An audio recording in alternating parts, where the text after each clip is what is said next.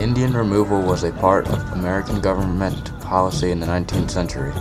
It called for the relocation of Native Americans from their homes in the southeast to reservations in the Midwest. Early in the 19th century, the United States began expanding into the lower south. American settlers soon faced an obstacle.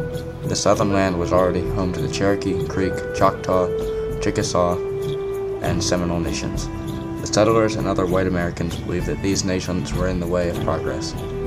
Andrew Jackson was a big player in the policy of Indian removal. In 1814, he commanded military forces that defeated part of the Creek Nation, causing the Creeks to lose 22 million acres of land in Georgia and Alabama.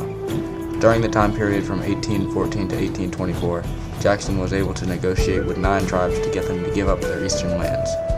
The tribes agreed to the treaties in hopes that they would be allowed to keep some of their land. They also hoped that appeasing the government would help to stop the harassment of Native Americans by white people.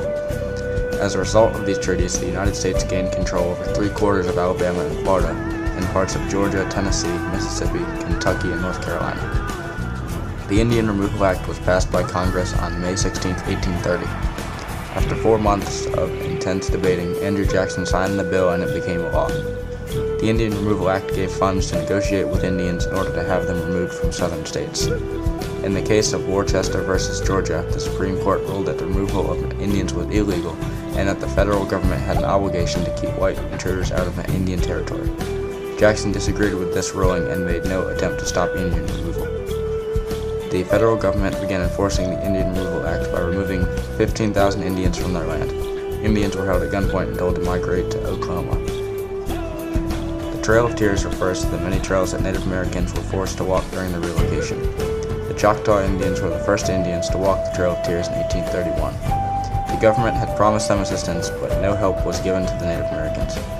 Malnutrition, exposure to harsh conditions, and a cholera ep- epidemic killed many members of the tribe.